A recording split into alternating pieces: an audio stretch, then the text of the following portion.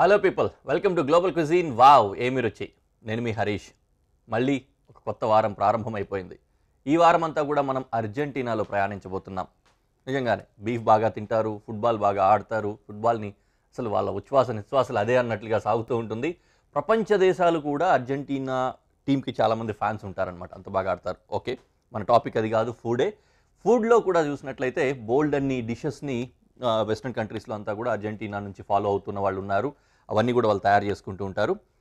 అదే క్రమంలోనే ఈ వారం అంతా కూడా మనం అర్జెంటీనా గురించి కొద్ది కొద్ది గొప్ప తెలుసుకుంటూ అర్జెంటీనాకు సంబంధించిన రెసిపీస్ని ఎక్స్ప్లోర్ చేయబోతున్నాం. So once again welcome to global cuisine wow ఏమి రుచి? అర్జెంటీనా వీక్ అర్జెంటీనా వీక్లో ఫస్ట్గా మనం తయారు చేసుకోబోతోంది ఒక మంచి శాండ్విచ్ శాండ్విచ్ అంటే మరీ ప్లెయిన్గా అలా ఇలా ఉంటుందని కాదు చక్కటి లాఫ్ బ్రెడ్తో తయారు చేసుకోబోతున్నాము.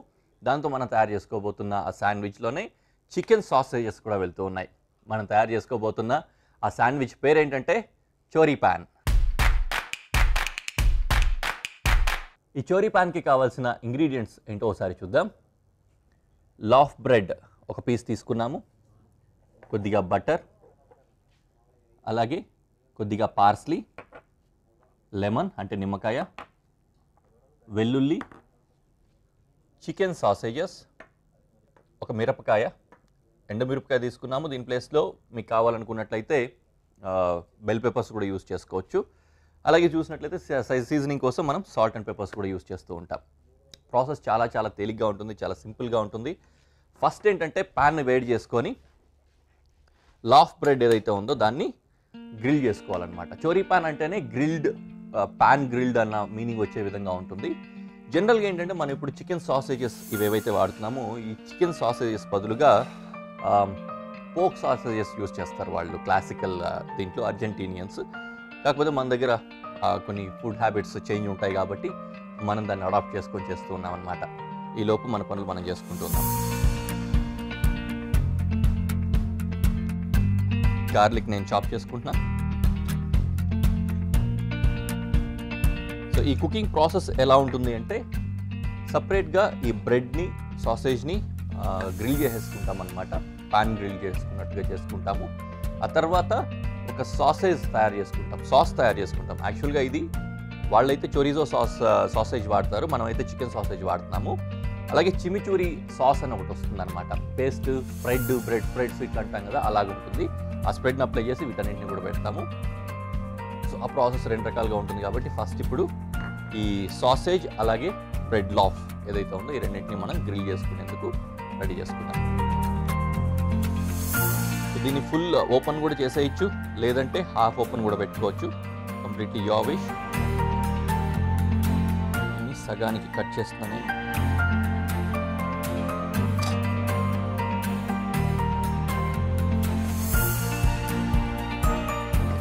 బటర్లో ఫ్రై చేసుకుంటాం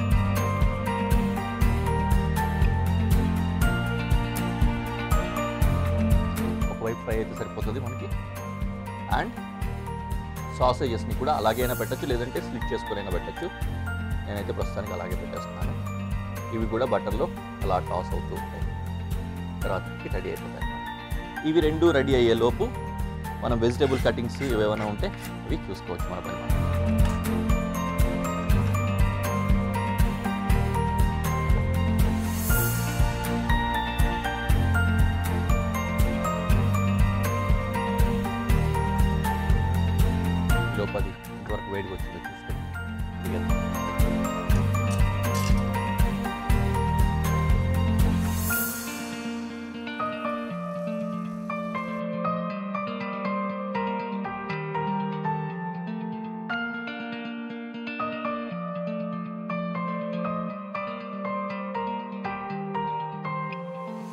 అయితే చక్కగా రెడీ అవుతుంది. ఇదిగా వేడైన తర్వాత బ్రెడ్ తీసేద్దాం. సాసేజెస్ మాత్రం చేసుకుని సరిపోతుంది అనమాట అన్నావు ఈ మిర్చి ఏదైతే ఉందో చిల్లీ గ్రీ రెడ్ చిల్లీ దీన్ని స్లిట్ చేసి డీసీడింగ్ చేసేద్దాం.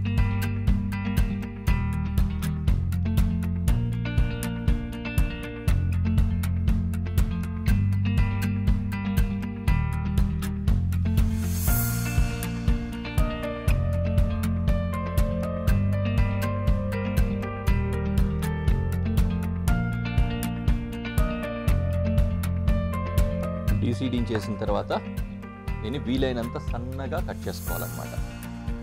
చిన్నగా.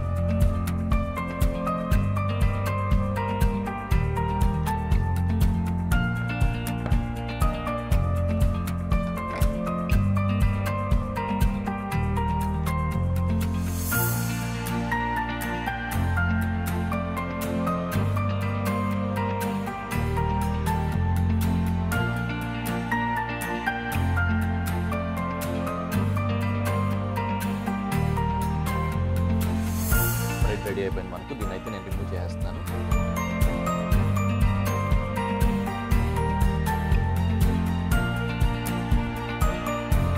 సో ఇప్పుడు ప్యారల్గా ఏం చేద్దామంటే మిక్సింగ్ బౌల్లో సాస్ ఏదైతే అన్నామో ఆ సాస్ కోసం సరిపోయే విధంగా ఫస్ట్ గార్లిక్ వేస్తున్నాను. తర్వాత రెడ్ చిల్లీ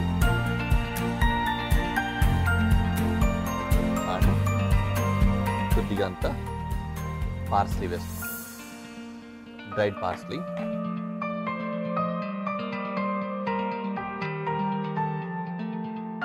లెమన్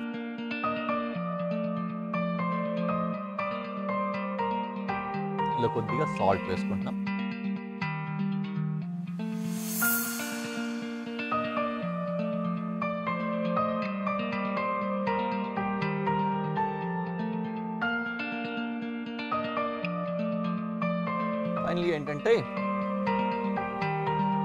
కొరియాండర్ ఉంది కదా ఇది బాగా వెళ్తుంది. వాళ్ళు యాక్చువల్గా పార్స్లీ లాంటివి యూస్ చేస్తూ ఉంటారు. మనం ఫ్లాట్ పార్స్లీ కానీ కొరియాండర్ కానీ ఇవి యూస్ చేసుకోవచ్చు.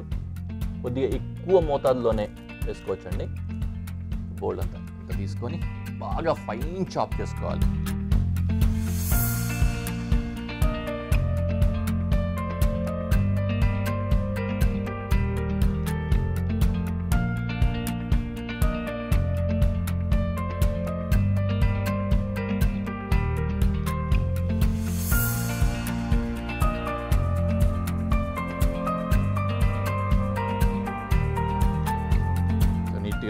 కాబట్టి దీన్ని కూడా ఇందులో యాడ్ చేసేస్తున్నాము.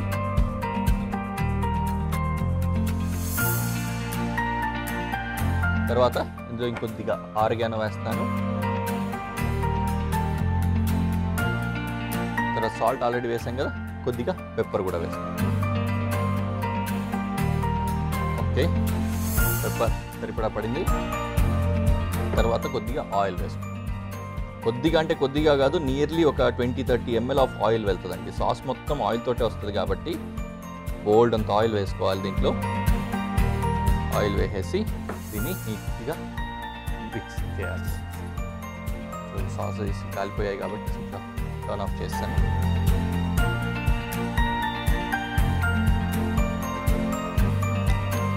చక్కటి స్ప్రెడ్ రెడీ అయిపోయింది. And final project or final task కోసం మనం వచ్చామన్నమాట. ఓపెన్ చేసుకొని దీనికి ఈ స్ప్రెడ్ అప్లై చేసుకొని ఆ తర్వాత నుంచి దాన్ని పెట్టేసుకోవచ్చు.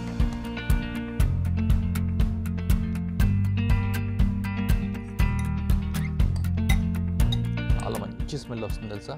ఆ బ్రెడ్ మీద ఈ స్ప్రెడ్ అంతా అప్లై అయిన వెంటనే చాలా బాగుంది.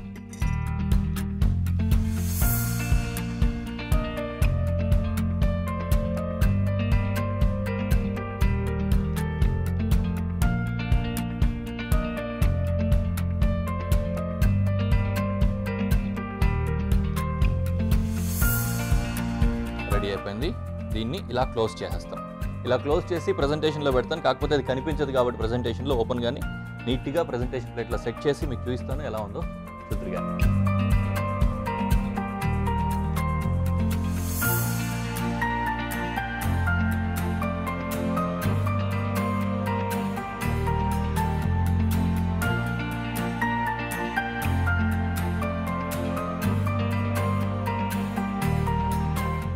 ట్రెజర్ బాక్స్ ఓపెన్ చేసినట్లు లోపల బోల్డ్ అంత ట్రెజర్ ఉన్నట్టు నిజంగా టేస్టీ ట్రెజర్ ఉందన్నమాట. దీన్ని ఎలా తినాలరా అన్నట్టు యా. డూ అంతే కట్ చేసుకొని మొత్తం పీస్ వచ్చేలాగా చేసుకొని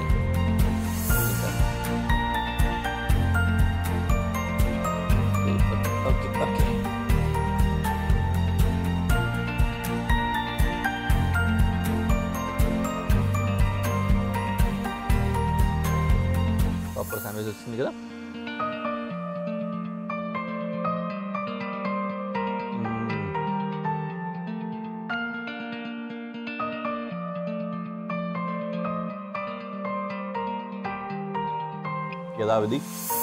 నేను తినేసి నెక్స్ట్ రెసిపీకి సంబంధించిన ఇంగ్రీడియంట్స్ కూడా సెట్ చేసుకుంటాను. డిష్ చాలా బాగుంది తినేసాను నెక్స్ట్ డిష్ కోసం కూడా నేను మొత్తం రెడీ చేసేసుకుంటున్నాను. చాలా అద్భుతంగా ఉండబోతోంది సింపుల్ స్ట్యూ ప్రిపరేషన్ లాగా ఉంటుంది. కాకపోతే రెండు రకాలుగా చేస్తాం అన్నమాట ఇప్పుడు మనం తయారు చేసుకోబోయే డిష్. ఇందులో కూడా చికెన్ సాసేజెస్ వాడుతున్నాము. ఆ విధంగా చాలా చక్కగా ఉండబోతోంది. నీట్గా ఫాలో అవుతుందండి హ్యాపీగా చేసుకోవచ్చు చాలా హెల్దీ డిష్ కూడా అనమాట మనం తయారు చేసుకోబోతోంది. మనం తయారు చేసుకోబోతున్న ఆ డిష్ పేరేంటంటే లాక్రో. ఈ లాక్రోకి కావాల్సిన ఇంగ్రీడియంట్స్ ఏంటో ఒకసారి చూద్దాం. స్వీట్ కార్న్ అంటే మొక్కజొన్నలు. అలాగే ఇక్కడ గుమ్మడికాయ ఒక చెక్క తీసుకున్నాము. మామూలు గుమ్మడికాయ అండి ఇది పంప్కిన్. అలాగే ఒక బంగాళాదుంప బంగాళాదుంప పీల్ చేసి తీసుకున్నాము.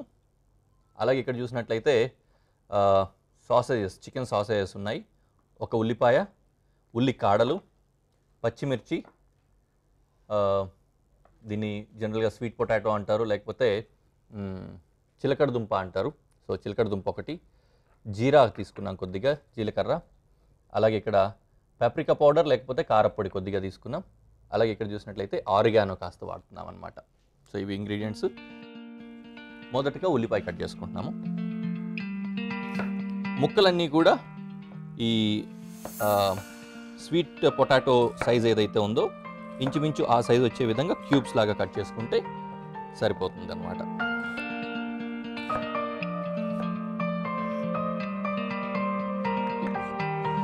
కట్ చేసిన అన్నింటినీ అడ్డు లేకుండా చిన్న బౌల్లో తీసేసుకుంటాం.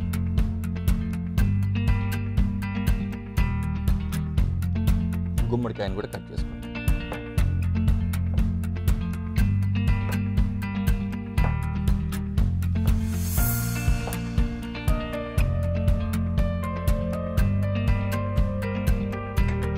గుమ్మడికాయ కూడా కట్ చేసుకొని సేమ్ బౌల్లోకి తీసేసుకుంటాను అలాగే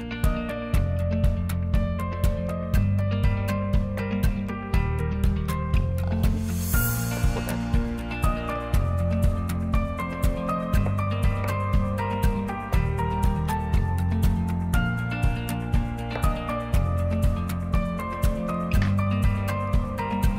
కటింగ్స్ అన్నీ కూడా చకచక అయిపోయాయి నిజానికి చెప్పాలంటే వెజిటబుల్స్ కటింగ్స్ అన్నీ అయిపోయాయి కాబట్టి ఇంకా కుకింగ్ ప్రాసెస్ స్టార్ట్ అయిపోతుంది అండ్ దానికి అనుగుణంగా ప్యాన్ పెట్టేసుకుందాం. ఇక్కడ మీరు గమనించారా? గార్లిక్ వాడట్లేదు మనం. గార్లిక్ వాడట్లేదు కాబట్టి అది వేయట్లేదు. ఇది కూడా అట్లా షేప్స్లో కట్ చేసుకుంటాం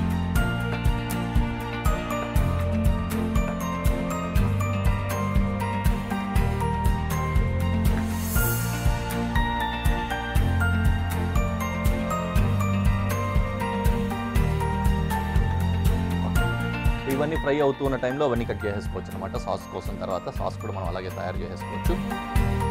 ప్యాన్ కూడా వేడైపోయింది. కొద్దిగంత ఆయిల్ వేసుకొని ఆయిల్లో ఇవన్నీ కూడా కొద్దిగంత టాస్ చేసుకుంటూ ఆయిల్ ఆయిల్ తర్వాత ఫస్ట్ ఆనియన్. కొద్దిగంత ఆయిల్ గ్లేజింగ్ అయిన తర్వాత టాస్ చేసుకొని మిగిలిన ఇంగ్రీడియంట్స్ కూడా వేసుకోవచ్చు వెజిటేబుల్స్ అన్నీ కూడా వేసేస్తూ ఉంటాము. కొంచెం ఫ్రై అయిన తర్వాత వాటర్ మిక్స్ చేసుకున్నట్లయితే స్ట్యూ ప్రిపరేషన్ జరుగుతూ ఉంటుంది. ఆ తర్వాత మనం సీజనింగ్ కూడా చేసుకుంటాం సాల్ట్ అండ్ పెప్పర్ తోటి. అది అయ్యే టైంలో పక్క నుంచి సాస్ కూడా రెడీ చేసుకుంటే అన్నీ కలిపేసి ప్రజెంటేషన్లో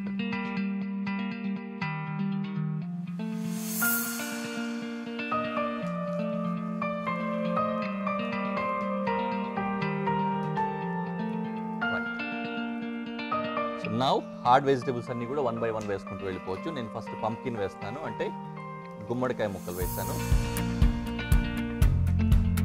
తర్వాత బంగాళదుంప ముక్కలు కూడా వేస్తాను ఇవి కొద్దిగా అలా టాస్ అవుతూ ఉన్నాయి. అలాగ అవని ఇక ఫ్లేమ్లో. చిలకడ దుంప కూడా కట్ చేసుకుని దాంట్లో వేస్తాను.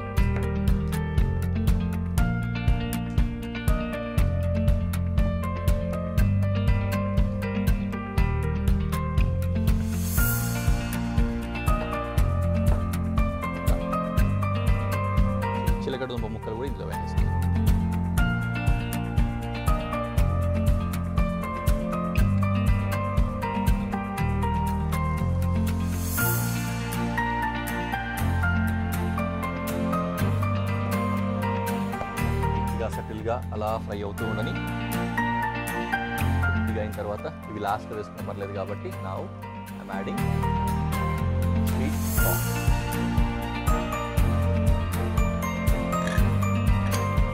ఫైనల్గా కాసేపు మాత్రమే ఉన్నప్పుడు సాసేజ్ యాడ్ చేద్దాం. రీజన్ ఏంటంటే సాసేజ్ ఆల్రెడీ ప్రాసెస్ అయిపోయి ఉంటుంది కాబట్టి ఎక్కువసేపు అవి కుక్ అవ్వాల్సిన అవసరం లేదు.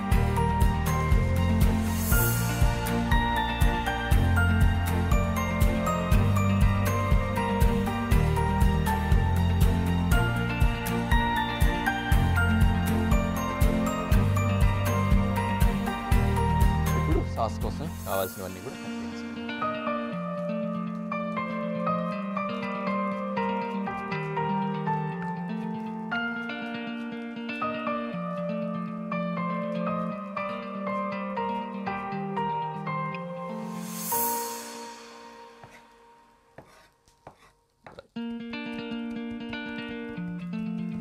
దీంతో పాటుగానే మనకు కొద్దిగా కొత్తిమీర కూడా కావాల్సి వస్తుంది. దాన్ని కూడా కట్ చేసుకుంటాను నేను. సో దీన్ని ఒక బౌల్లో తీసుకుందాం ఓకే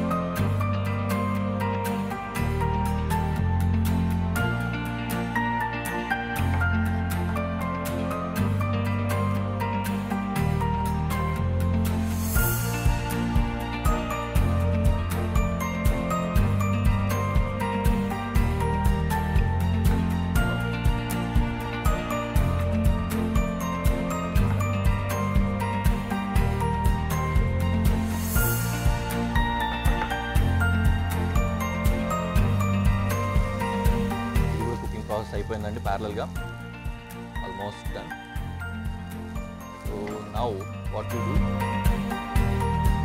కొద్దిగా సాల్ట్ అండ్ పెప్పర్ యాడ్ చేసుకోవాలి. కాకపోతే వాటర్ వేసుకొని ఇంకా కుక్ అవ్వాలి కాబట్టి కుక్ అయిన తర్వాత మనకి దానికి సరిపడా వేసుకుంటే బాగుంటుంది కాబట్టి సీజనింగ్ కొద్దిగా అవుతున్నాను. Now I'm adding water to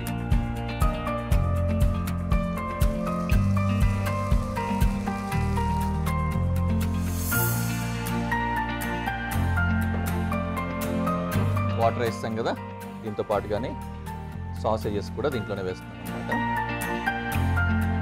and seasoning లాగా సాల్ట్ అండ్ పెప్పర్ కూడా వేసుకోవాలి. కొద్దిగా సాల్ట్ వేసాను. అండ్ పెప్పర్ కూడా వేసాను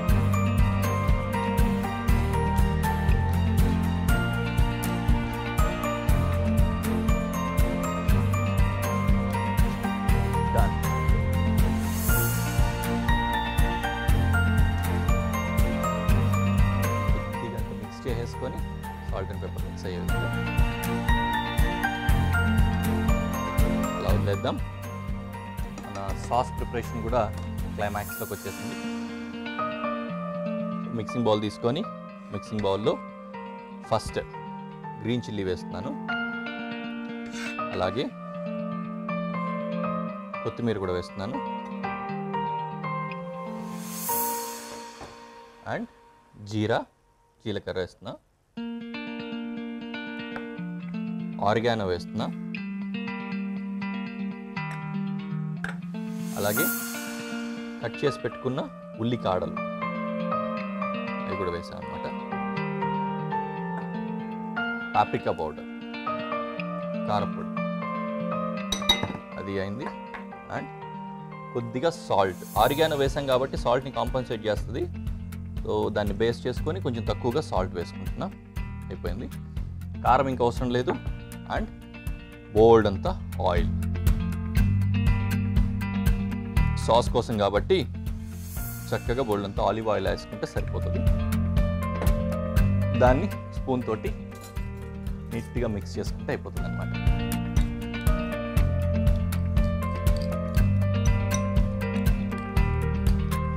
బట్ స్ప్రెడ్ కూడా రెడీ అయిపోయింది. సూప్ కూడా పర్ఫెక్ట్ కన్సిస్టెన్సీ వచ్చేసింది. ఆఫ్ చేస్తున్నా నవ్ ఈ రెండింటిని కలిపి ఫైనల్ ప్రజెంటేషన్లో పెట్టి ఎలా ఉంటుందో మీకు చూపిస్తాను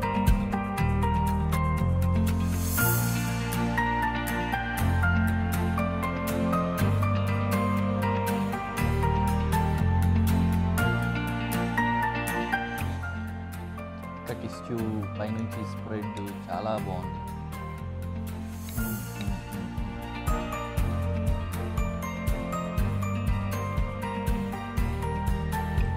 నాకైతే అంత తినాలని ఉంది కానీ తినుకుంటుంటే మీకు చెప్పలేను.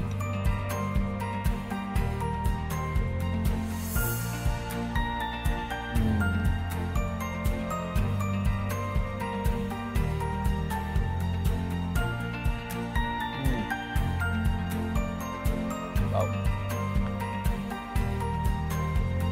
చాలా బాగుందండి. ఆయిల్ ఇంకొద్దిగా తక్కువగా కూడా వాడుకుని ఉండొచ్చు స్ప్రెడ్లో. అదేంటంటే ఆ ఫ్లేవర్ అంతా తీసుకొచ్చి స్ట్యూకి మిక్స్ చేసింది. అమేజింగ్గా ఉంది. ఖచ్చితంగా చాలా చాలా టేస్టీగా ఉంది. మీరు కూడా తయారు చేసుకొని తిని ఎంజాయ్ చేయండి.